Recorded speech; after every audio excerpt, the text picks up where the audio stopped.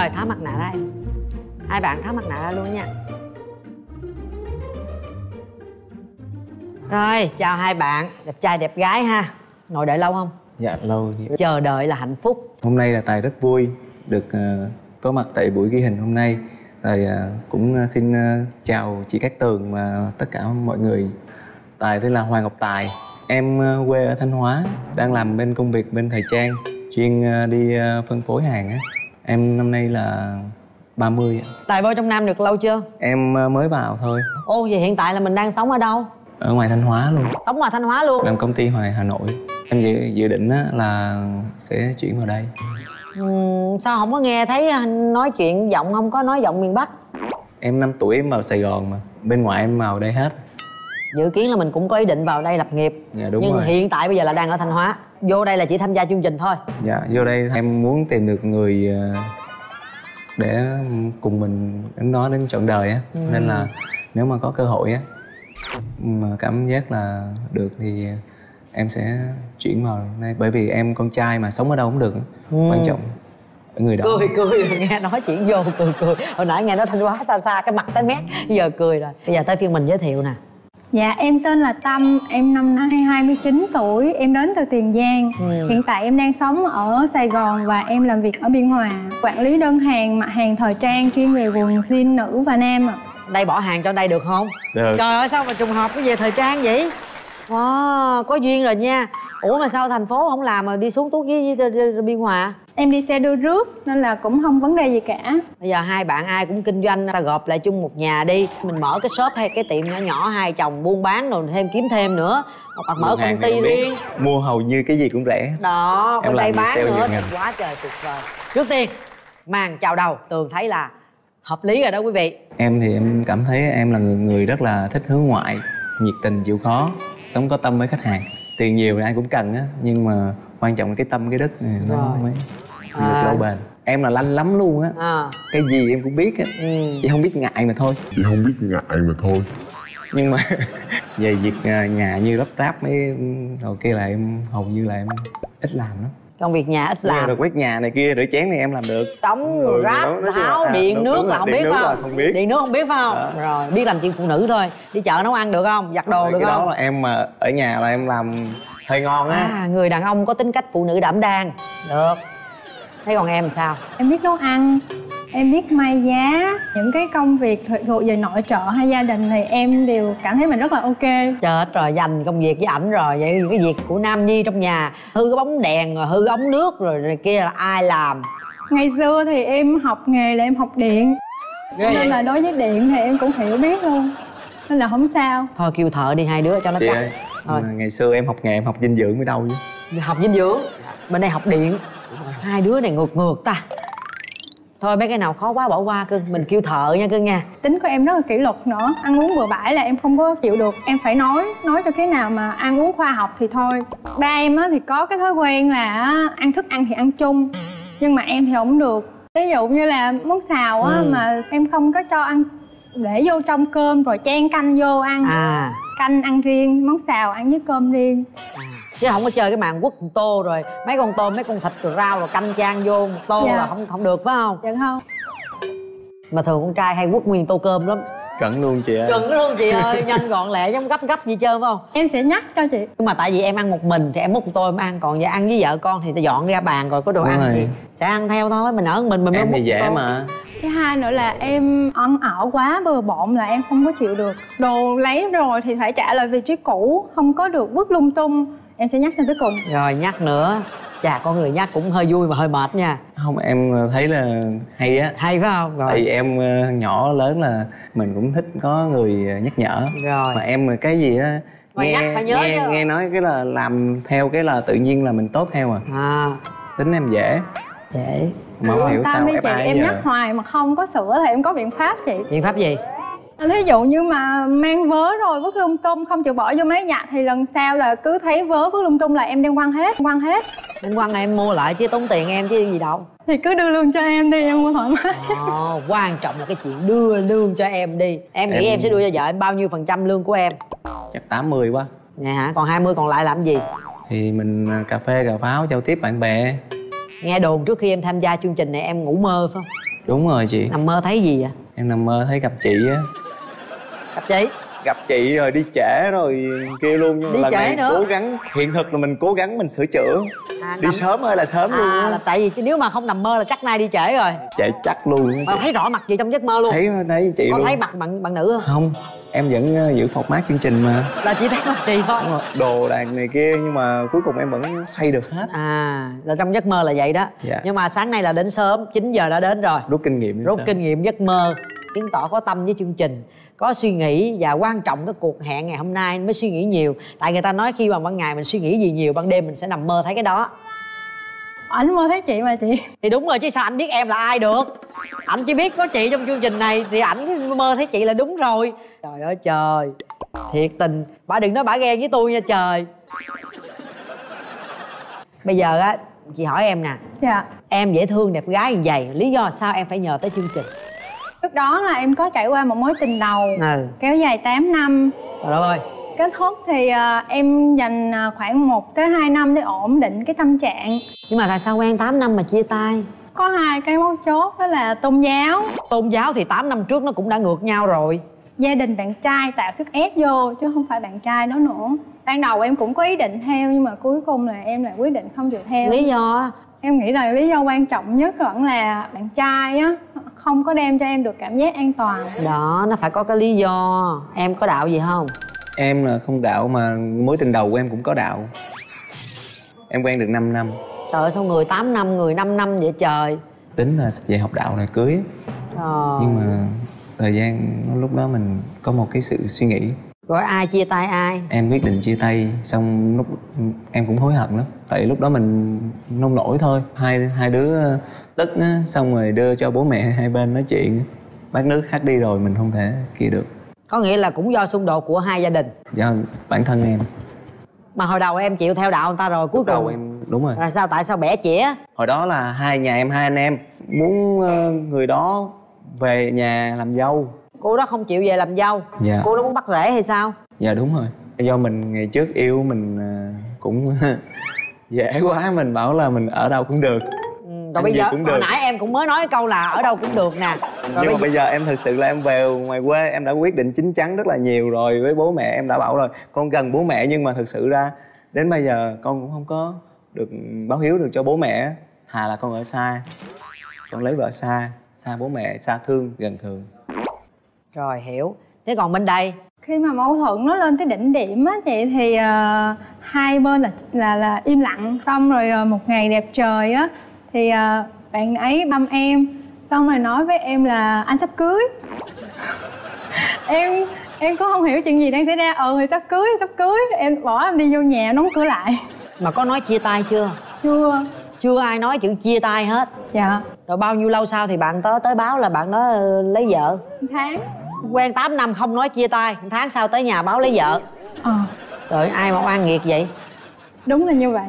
8 năm thì em về nhà bạn ấy chơi rất là nhiều. Bạn ấy cũng về nhà em rất là nhiều lần. Nhưng mà cuối cùng lại như vậy.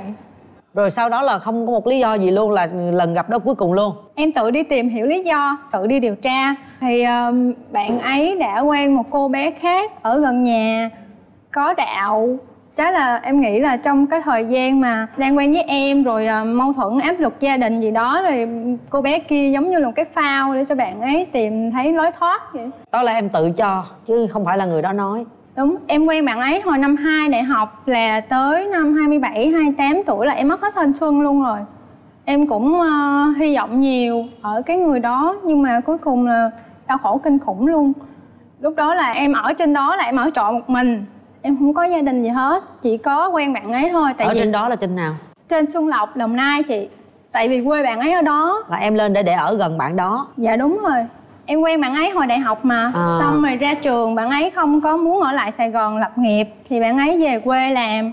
Thì ờ, quen xa được uh, 2 năm hay 3 năm gì đấy Thì em thấy là thôi không có ổn. Thôi để bạn ấy không muốn xuống thì em đi lên trên đó. Em nghĩ như thế là em đi thôi rồi cái lúc mà ảnh báo tin là em vẫn còn ở trên đó. Em vẫn còn trên đó. Sau đó có khi nào gặp nhau nữa không? Có chị, chỗ đó nó nhỏ lắm. Em đi mua trái cây mà còn gặp nữa. Hai vợ chồng ta đang đứng mua trái cây mà em không thấy em nhào vô em mua ngon lành luôn.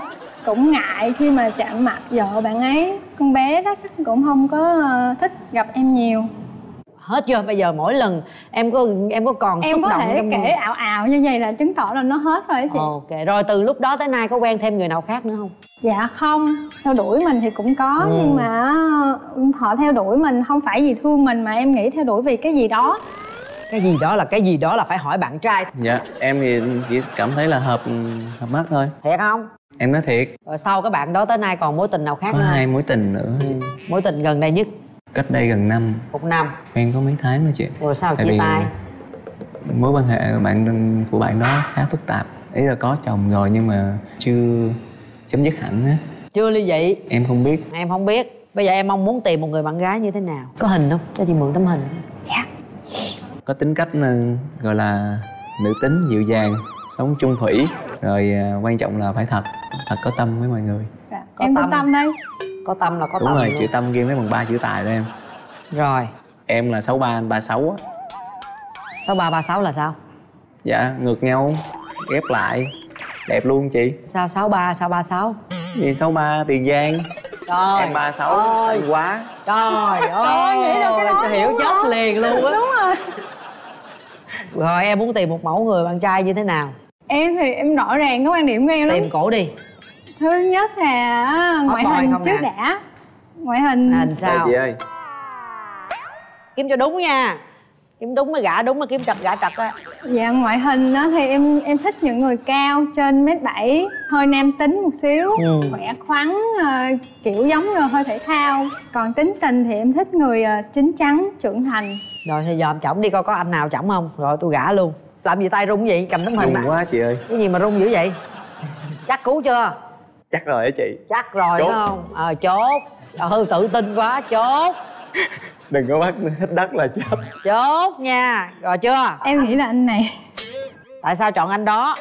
Em nghĩ là à, nếu mà anh đó buôn bán thì à, bề ngoài của ảnh cũng phải trao chuốt đúng không? Nếu đi ra ngoài nhiều á thì da phải ngâm ngâm một xíu. À người ta rất là có khoa học. Còn ông này cầm tấm hình lên chỉ liền ông chỉ chỉ theo là cặp mắt ông nhìn gái đẹp ông chỉ thôi. Còn bên đây người ta có phân tích đàng hoàng. Là em cảm thấy bạn tên tâm đúng không? Hồng tâm em bảo là trung tâm ba cô gái ở giữa tâm là À. gì chị có phân tích khoa học rõ ràng luôn. Cũng có logic. Rồi xin mời hai bạn. Hay quá có tâm hình này có tầm luôn rồi tầm bậy rồi một hai ba. Hãy xem màn chọn người theo chữ tâm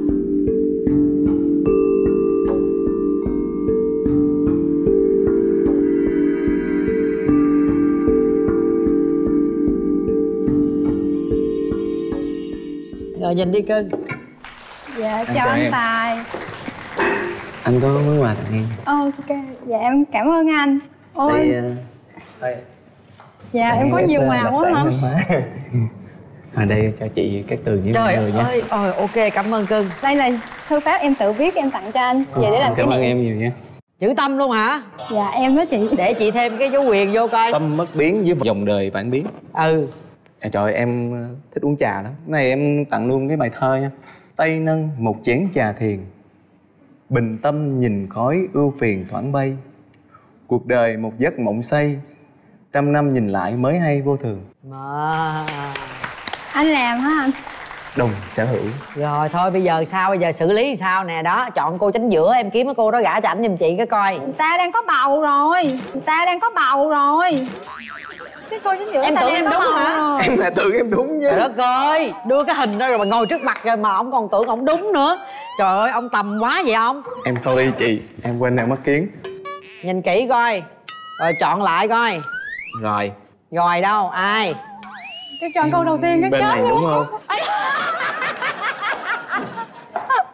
ba lần vô một chỗ. Rồi cái ông này phải phạt cái gì ghê gớm cho tôi mới được trời ơi sao vậy cưng chắc là em mới lên độ á. Anh ơi bình thường đó em rất là thích để mặt mộc em không có trang điểm. Chỉ hai người rồi không lẽ giờ chỉ có cái thằng kế bên? Không, không bên này là đúng rồi chị. Chắc chưa? Là chắc một trăm phần trăm. Rồi bây giờ em nghĩ em bị phạt cái gì? Hát đi. Hát là thường quá mới đọc thơ rồi hát nhẹ nhàng cho em quá. Em trật người ta ba lần ba cô gái em chỉ hết cả ba luôn. Giờ thôi thì tùy chị với ờ, bạn. Anh anh em thích khỏe khoắn với thể thao đó. Đó. Anh ờ, anh đặt lựa đồ đi đồ cài bông đồ cài bông hồng đồ. Ra đi cưng ra sàn thi đấu đi cưng không ai cứu được cưng đâu. Hột xì dầu hả chị? Hết đất cưng ơi hột xì dầu nó bánh bèo quá. Đất ngộ luôn anh không hỏi bao nhiêu cái à anh cứ thế anh đi hết thôi chắc là hả? hai chục cái quá bình thường anh thấy mọi người ờ, bị phạt vậy mà. Trời ơi đứng nói anh ba làm vài chục cái ba làm vài chục cái nha. Họ làm đi sao sức làm được nhiều làm đi đừng gặp mặt tường được rồi. Chừng nào cổ nói thôi thôi đếm với chồng ta đi chừng nào em thấy đủ thì em kêu đứng lên. Bắt đầu cho một hai ba bốn năm sáu hay rùng tài 7 8 9 ụp mặt rồi đó. mười thôi dừng đi anh. Tôi nghĩ hai chục không có nổi xin chân thành cảm ơn em. Nóng người rồi đó, chắc đói bụng rồi ha. Chị Tường mời hai bạn sẽ thưởng thức bữa ăn trưa Dạ. tại nhà hàng Mận Đỏ. Mời các bạn thưởng thức món sườn hầm đậu. Đây cũng là những món ăn và cách chế biến rất quen thuộc Nguồn gốc từ Pháp Nêm nếm theo cách riêng của nhà hàng Mận Đỏ. Sốt rất là sệt nè Và ăn với cơm theo phong cách Việt Nam Hoặc là bánh mì Âu thì rất là tuyệt vời Tùy thích nha. Rồi mời hai bạn Ăn đồ Tây uống rượu vang là số 1 dạ. Anh chào em. Mời em ờ, nãy anh chào rồi anh. Thì mời em ý là mời em ăn. Dạ em cảm ơn em cũng mời anh.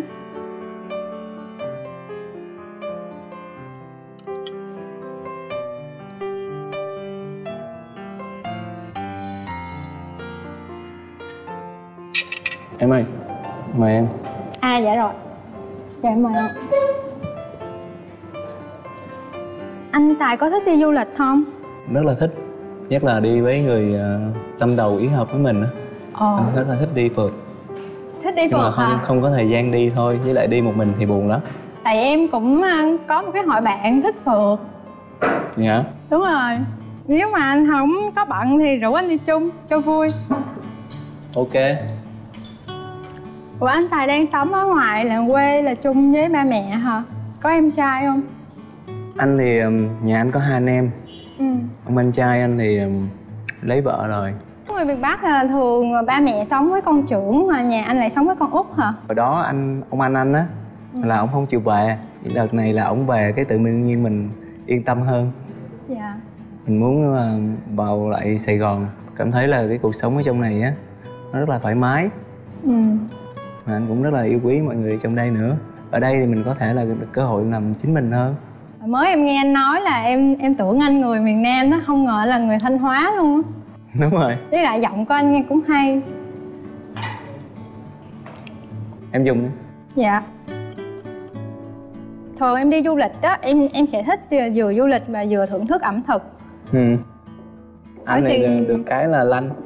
Hầu như là anh đi ờ, mấy nơi đó là anh kiếm được những cái chỗ mà ăn theo đúng tiêu chuẩn ngon bổ rẻ luôn. Mai mốt chia sẻ cho em với nha. Tôi Ok. mà mai mối tôi gặp cặp nào cũng như cặp này đỡ quá không cần nói nhiều luôn á. Bấm nút luôn không? Từ từ chị? Ăn rồi quá nói chuyện nào quá tưởng bấm nút luôn rồi chứ. Nãy giờ có vô được cái chuyện tình yêu gì chưa? Không anh đó không có hỏi em gì hết á. à. Tại em quên.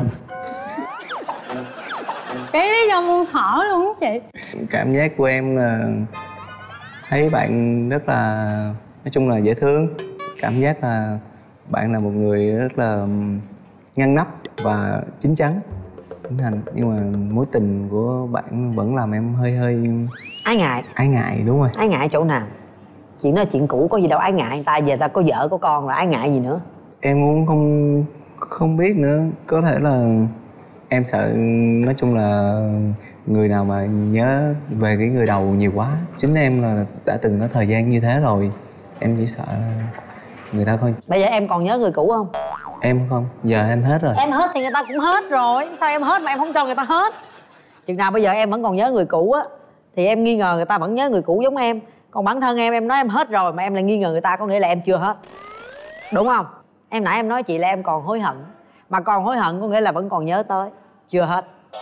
Đúng không? Nói đúng chỉ có gục mặt xuống thôi đó đúng không? Dạ. Đó thấy chưa không em nhớ là là là bạn thôi. Thế ủa Đó. người ta còn nhớ cũng bạn thôi. Người ta nhắc tới một cách rất là vô tư thoải mái còn em là có vẻ hơi rụt rè. Có vẻ là chuyện tình duyên của anh nó cũng hơi lận đận. đúng rồi. Nhưng mà người ta thanh niên mà em mới là lận đận đó. Hy sinh nhiều khổ dẹp hết chuyện cũ bỏ qua. Bây giờ lo chuyện mới. Rồi mời em bốc bài. Thử cảm giác nắm tay bạn nam. Rồi đưa tay qua. Hy vọng là tay anh giống như em nghĩ. Ồ chứ em nghĩ sao em nghĩ sao rồi? Em cảm thấy sao? Thôi vươn ra được rồi anh. Em nghĩ sao? Em nghĩ là tay của anh ấy sẽ là ấm và mềm mềm thì Mềm. đúng như vậy. Đúng vậy luôn. Ừ. hay quá cô này bữa nay cảm giác cô hay quá mà em tệ quá. Tới phiên em. Học lớn lên. Quan điểm về việc chia tay đòi lại trả lại quà. Nếu là bạn hết yêu rồi bạn có đòi hay trả quà không? Em thì là rất là không thích cái quan điểm đó ngày xưa em quen người yêu đầu á. Lúc mà em em bạn ấy chia tay á thì bạn gái bảo muốn gửi tiền ờ, mua điện thoại cho em á. Mà thôi coi như món quà cuối qua là lúc đó vừa mới mua điện thoại xong là chia tay á hả? Sau Vừa mới tặng điện thoại xong là chia tay. chia tay á em bảo À. thôi cũng tất cả là do anh. Nếu mà sau này mà em chưa có người ờ, kia thì anh sẽ chịu trách nhiệm với cả thanh xuân của em. Mà thật sự ra là em vẫn chưa biết được cô ấy có người yêu hay chưa. Nói chung là em cũng hơi lụy tình cũng là một vấn đề mà em FA đến bây giờ. Túm lại là ông này ông vẫn còn bối rối vấn vấn vương mối tình cũ đó người đó là nặng tình đó. Quen cô đó trong chia tay rồi. em em vẫn nằm mơ thấy cô ấy em em khóc mà hồi hai ba năm Ờ, trước. nhưng bây giờ hết chưa? hết thiệt rồi giờ hết thiệt em không không mơ thấy nữa. Không mơ thấy nữa giờ mơ thấy chị cát tường rồi đúng không? Dạ đúng rồi ừ, nói chị Cát rồi Tường chốt. đúng rồi. rồi bây giờ hai người nhìn nhau nè.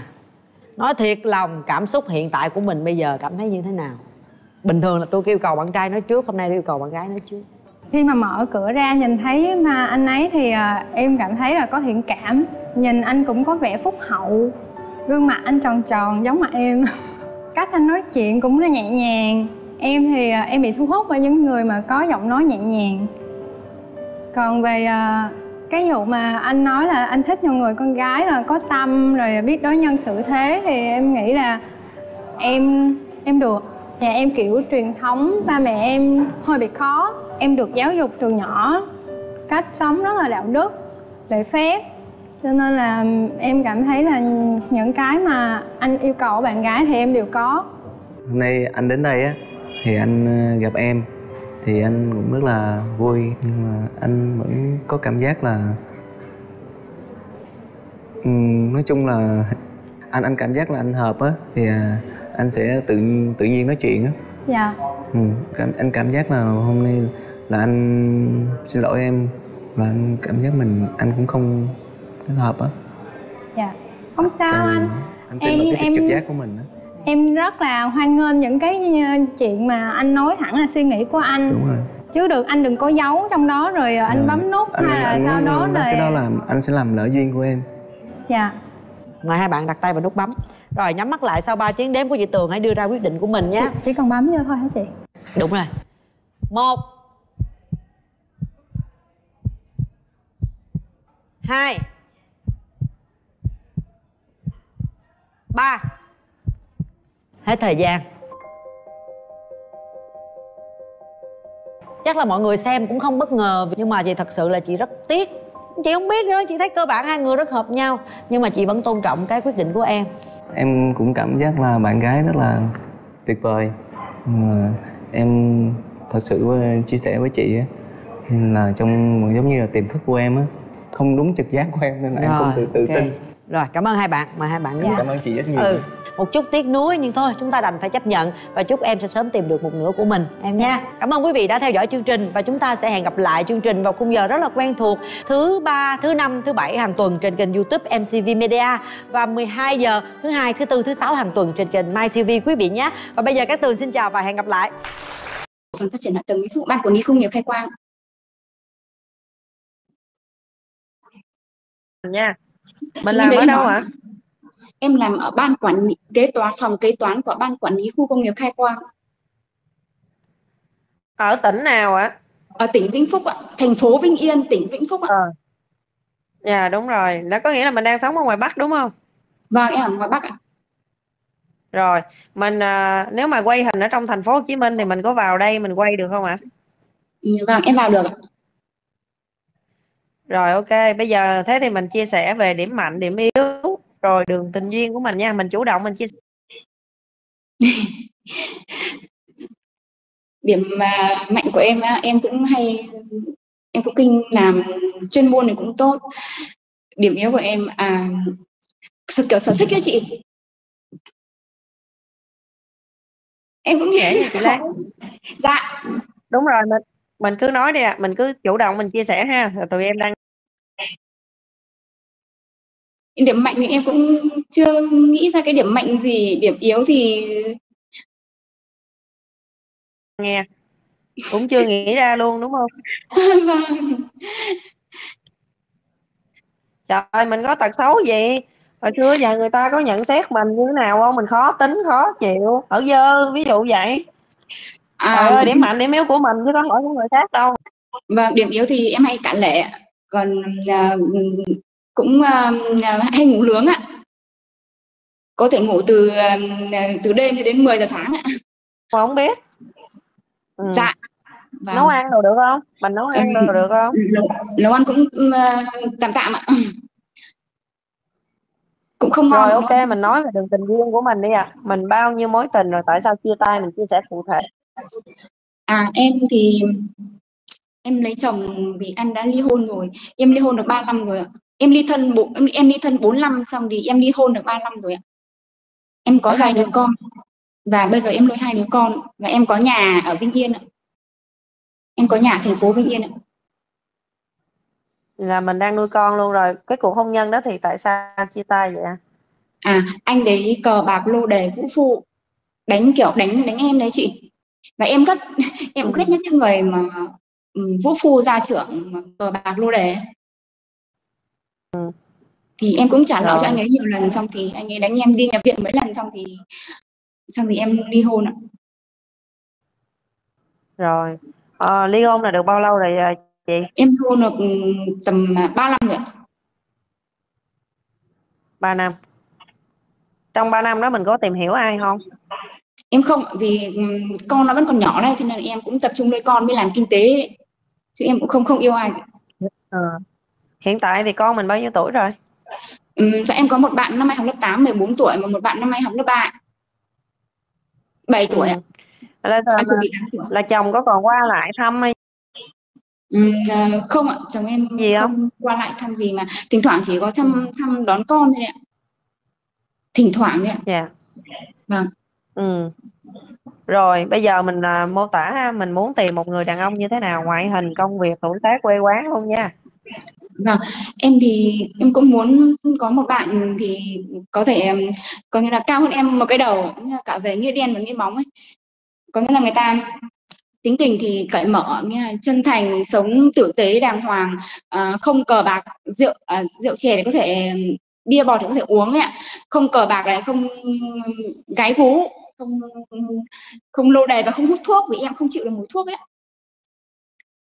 ạ. Ờ, mi sống tử tế Rồi. đàng hoàng đối nhân xử thế ờ, với gia đình và xã hội và đặc biệt là cũng em muốn cũng muốn một người là cũng ờ, có thể bị ừ, yêu thương con em ấy.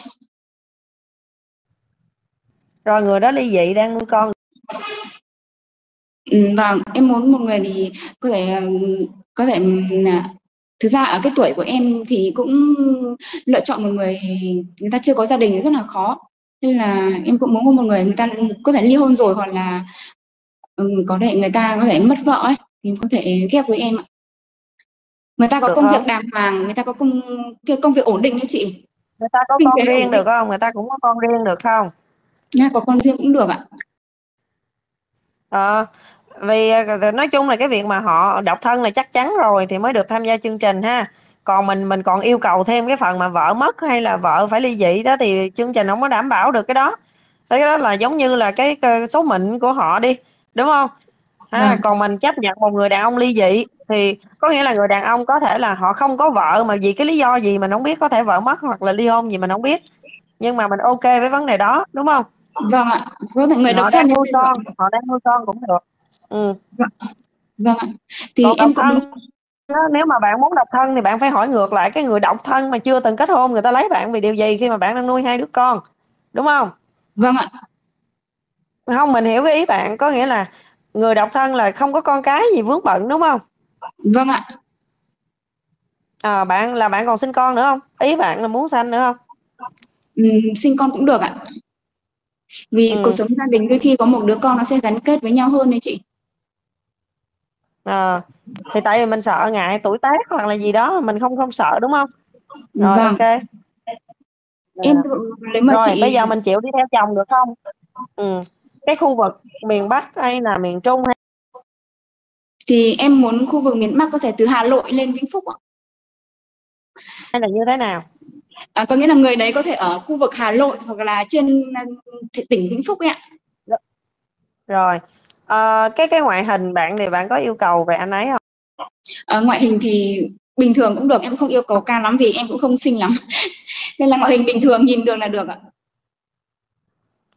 được là bao nhiêu nè cao một mét sáu À, Nặng 80 từ kg mét 65 là- đổ lên. Vâng. Vâng, Ờ, bạn cao 65 bao nhiêu. Tầm mét uh, tầm mét 65 đổ lên ạ. ừ. không bạn á bạn cao bao nhiêu À em hay cao mắc 5 54 ạ. ừ. Rồi ok. Nếu mà được chọn thì chương trình sẽ thông báo sau cho mình ha để mình chuẩn bị các cái bước tiếp theo nha. Rồi Ừ, phần đáp vâng. của mình xong rồi đó. Cảm ơn bạn. Vâng, em cảm ơn chị. ở đây thì có ban biên tập gồm em ờ, tự giới thiệu em là Uyên rồi gồm một hai chị biên tập nữa là chị Thi Anh và chị ờ, Thanh Trúc. Ờ, mọi người cũng đang lắng nghe mình ờ, trò chuyện á. Thì ờ, mình giới thiệu về bản thân mình giúp em ha tự tin giới thiệu bản thân mình. Họ tên tuổi quê quán nghề nghiệp của mình đi chị. Rồi, rồi. Chị là Nguyễn Thị Khoán, Nguyễn Thị gì chị? Thị Khoán, Nguyễn Thị Quán hả chị? Nguyễn Thị Khoán, ờ, ờ Nguyễn Thị Khoán rồi. Khoán khoán khoán tài khoán, rồi rồi rồi rồi. Nguyễn Thị Khoán. Rồi, rồi Nguyễn Thị Khoản em biết rồi rồi. Dạ rồi mình giới thiệu tiếp đi chị mình sinh năm mấy Rồi. rồi, mình ờ, quê quán mình ở Chị, đâu ờ, mình cứ chủ động mình giới thiệu chứ rồi. em không có phải nhắc nha dạ rồi, rồi, rồi chị. Chị sinh năm 1975. Giáo viên cấp 2 ạ. à chị làm giáo viên gì Giáo viên ờ, dạy cấp 2, giáo viên dạy bộ môn văn. dạ giáo viên dạy văn rồi Ờ, điểm mạnh điểm yếu của chị Khoản là gì vậy Nói chung là à, điểm à, mạnh của chị là là sở trường là thích cái bộ môn mà mình à, luôn yêu thích yêu nghề và đồng thời nữa là thích nấu ăn và thích du lịch. Còn cái điểm yếu là à, mình à, khi mà giữa đám đông thì mình hơi hơi hơi hơi rụt rè tí. Ừ. Ủa mình là cô giáo dạy văn thì em nghĩ là ví dụ như mạnh dạng trước đám đông đó mà ta cho học sinh biết bao nhiêu rồi đứng trước trường nữa mà rồi rồi rồi chị biết rồi Dạ. Rồi thì à, về tình trường của chị như thế nào? Chị đã trải qua cuộc hôn nhân nào chưa? rồi chị qua một cuộc hôn nhân rồi nhưng mà được 10 à, được 21 năm thì bọn chị chia tay rồi Lý do vì sao chị chia tay có con cái gì không chị? Rồi chị có hai con lý do là nói chung không hợp mà cái cách dạy con cho nên là đành phải chia tay Ừ. Con à, hai người con là con trai hay con gái? hai người con gái em ạ Ờ. là bao nhiêu tuổi rồi chị? Năm nay cháu lớn đang à, du học ở Hàn Quốc, hiện nay là 26 tuổi, còn cháu bé mới học lớp 8 thôi. Ừ. Giữa anh với chị là mâu thuẫn về cách nuôi dạy à, cháu bé ha hả? Rồi đúng rồi. Ừ. Anh thì như thế nào mà chị như thế nào mà sao đến đổ vỡ hôn nhân giữa chị? Tại vì mình ở với nhau cũng đã hai mấy năm mà. Rồi rồi rồi, đúng rồi. Cụ thể giùm em á. Nói chung là cũng không hợp về cái ví dụ như cách dạy của con khi con có ước nguyện thế này nhưng mà bố không đồng ý thì nói chung là mẹ thì đồng ý thì hai người không trùng quan điểm nhau rồi là dẫn đến cũng gọi cứ cãi nhau. Ừ. Nhưng mà đỉnh điểm như thế nào mà mình phải quyết định là mình ly hôn? Đỉnh điểm là bố tự kiểu rút lui, nghĩa là không chung tay để cùng lo cho con cái nữa thì là bố tự rút thôi. À là bố đề nghị á hả? Rồi rồi. Ừ.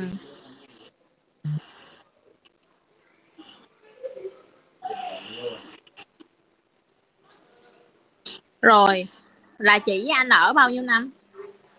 chị ở được uh, 21 năm Rồi chị không níu kéo hả? nói chung là cũng cũng muốn níu kéo nhưng mà quan điểm của anh không không không theo quan điểm của chị cho nên là đành thôi vậy Ừ. Là chị ly hôn mấy năm rồi? Chị hôn được uh, 5 năm à? ừ. rồi trong 5 năm nay thì chị có tìm hiểu thêm ai không? Chị không. Nói chung là chị chỉ uh, mãi công việc làm ăn lo cho các con thôi. Nhưng mà thấy chương trình chị cứ xem cái chương trình trực tiếp này chị thấy ừ. nó cũng hay hay thì chị muốn đăng ký thôi. Nhưng mà chị đăng ký thì con chị có đồng ý không? Có Mấy hai đứa con nó đều ủng hộ mà ờ ok nói chung là, là hiện tại là chị khoảng là quê ở đâu ta? Và chị hiện tại là sinh sống ở đâu? Chị quê ở Hải Phòng. Rồi chị sinh sống ở đâu? Hả? Chị cũng sinh sống luôn ở đó. Dạ vậy thì uh, tại vì tụi em ghi hình chị cũng sinh sống luôn ở Hải Phòng ấy dạ tụi em ghi hình ở trong thành phố Hồ Chí Minh thì chị bay vô được không ạ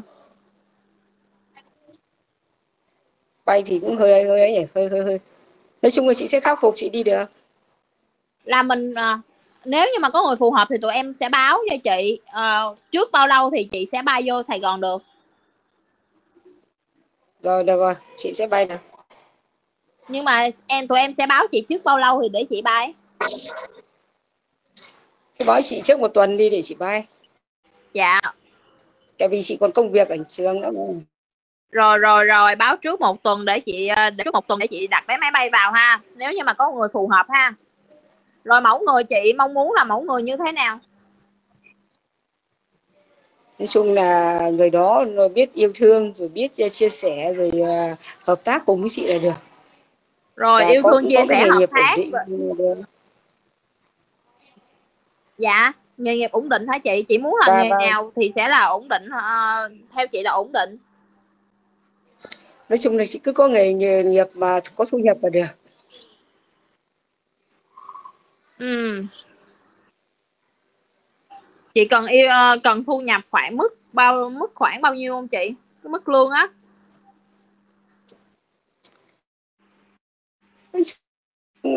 Mà mức lương của anh ấy cũng đủ đủ, đủ mà chi tiêu cho anh cũng có thể là nuôi thêm một người nữa thì được. Ừ là chị nghĩ bao nhiêu ờ, thì là đủ. Bản thân chị á. Ôi, bây giờ thì cũng nó cũng vô vàn đó mẹ. Dạ. Cái cứ hợp là được cái chứ còn lại nếu tính Rồi, về, về cái ngoại hình thì sao chị ơi? Về ngoại à. hình quê quán tuổi tác. Nói chung ngoại hình quê quán thì ví dụ hơn chị ờ, khoảng 4 ờ, tuổi hay 5 tuổi cũng được. Rồi là ngoại hình thì trông ưa nhìn thôi là được. Rồi ok chị rồi ok. À, ở đây rồi, rồi, chị cảm đã ghi nhận hết những cái ờ, thông tin của chị rồi thì có gì thì uh, nếu như mà có người phù hợp thì bên em sẽ báo lại với chị để chị bay vào ha. Cảm ơn chị nhiều. Rồi rồi chị cảm ơn chị họ tên công việc tuổi tác quê quán của mình nha chị. Ờ, công việc mình á, ờ, mình đang, ờ, mình đang là chủ của tiệm nail ở Hà Lan. Là mình đang sống ở Hà Lan luôn hay sao chị? Đúng rồi em, chị định cư ở Hà Lan 20 năm Ờ. rồi. Vậy thì bây giờ mình tham gia chương trình là mình phải bay về hay sao ạ? Ờ, thì chị có dự định là Tết này chị về Việt Nam đó. Là về luôn Thì hay chị sao ạ? muốn, à hông, chị về chị du lịch thôi, về thăm ba À. chị. Thì nên chị, à, chị, à, muốn là chương trình sắp xếp, ờ, à, vào thời Rồi, gian ô đó. em hiểu cái ý chị rồi, có nghĩa là À. phải ghi hình trong, a, trong phải sau Tết hoặc là trong Tết thì chị mới tham gia được, đúng hông? Ừm, là đúng rồi. Tại nó Yeah. trùng dịp chị về. Rồi, ô chị, vậy Đúng thì rồi. bây giờ mình nói qua sơ lược giùm em ha, điểm mạnh, điểm yếu và đường tình duyên của chị giùm em nha, để bên em nắm thông tin. Rồi có gì nếu mà được chọn thì gần tới cái thời gian đó bên em có người liên hệ lại cho chị ha. Dạ, Dạ. dạ.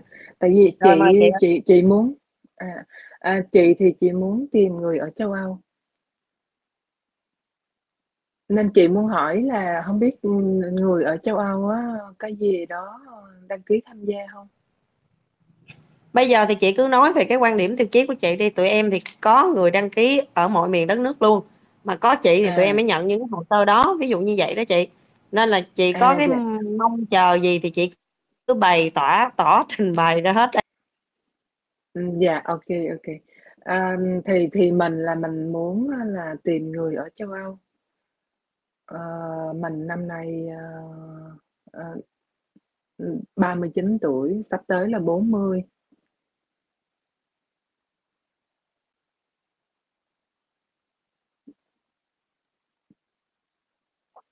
Đây giùm em đi. Rồi mình nói điểm mạnh, điểm yếu và đường tình duyên đi chị, chủ động giùm em. À, đường tình duyên hả? Đường tình duyên thì mình đã đã từng có gia đình rồi, mình có hai đứa con gái đang sống chung với mình. Yeah, điểm mạnh, điểm yếu hả? Điểm mạnh ờ, nói chung mình có thể làm được hết ờ, mình được làm được hết tất cả mọi việc. Chỉ có ờ, mình hơi bận nên ờ, chuyện gia đình, chuyện trong ví dụ ờ, nấu ăn này kia thì mình ít có thời gian để nấu ăn. Đa số là mình đi ăn ở ngoài thì nhiều. Rồi điểm yếu thì chắc mình hơi nóng tính. Và thẳng tính nữa.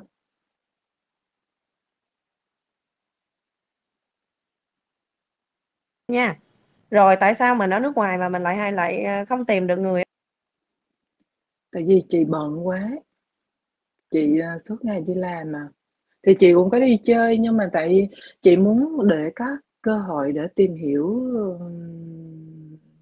nhiều hơn để mình có sự lựa chọn nhiều hơn. Ở bên đó chị.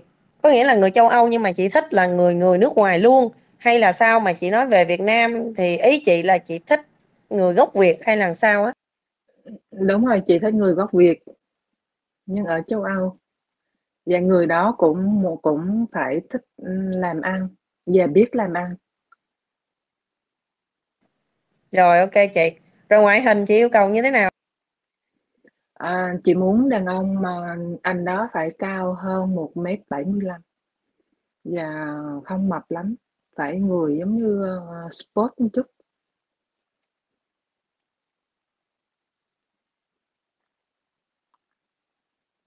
Rồi ok chị, nếu mà được chọn thì bên chương trình mình liên lạc lại cho chị sau nha. Rồi bên em sẽ kỹ Dạ. hơn tại bây giờ chị cũng chưa có tham gia được liền á. Đó. Chị Đúng ha. rồi. Dạ, Ừ. đúng rồi, Rồi dạ.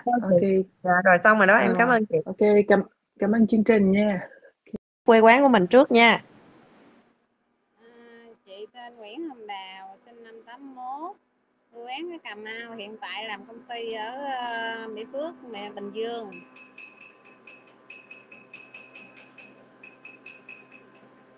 Nghe rõ không ạ? Dạ rồi, chị nói to một chút nha. Chị nói giùm em điểm mạnh, điểm yếu và đường tình duyên của chị giùm em á. Chị quay cái camera vô ừ, gần gần cái mặt một chút. Rồi em cảm ơn chị. Chị thì à, cũng đơn giản thôi, tại vì chị sống rất đơn giản, không có gì ngoài ra hết á. Điểm yếu của chị á là uh, hay hay khóc vậy thôi. Còn nói về điểm mạnh á, thì chỉ cần mạnh mẽ chút là đủ rồi.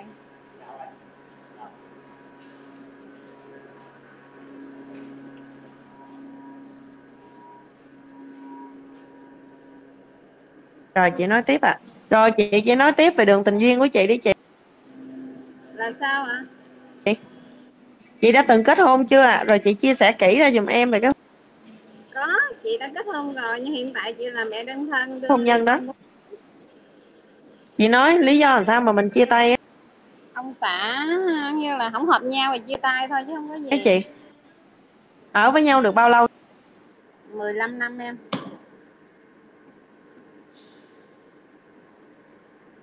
Chị ha.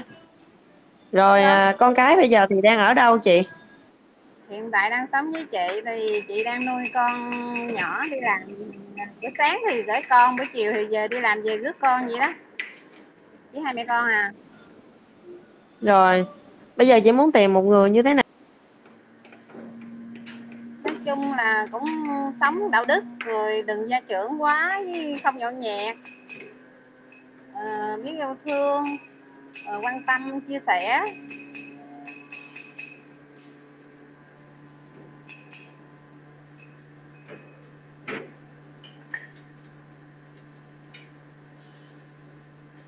nào ạ? Rồi chị ơi, bây giờ điểm chị không thích ở người đàn ông với lại chị mô tả người đó nếu mà đã từng ly hôn, có con được hay không? cái đó là nếu có ly hôn thì vẫn được nhưng có gái là không thích uh, như là uh, nhậu nhẹt nè gia trưởng uh, không thích là uh, không thích là uh, nói chuyện nhiều hay là tánh tình uh, thói quá như láo tét đồ này nọ chị không thích chị sống chỉ chưa thích là chân thật thôi.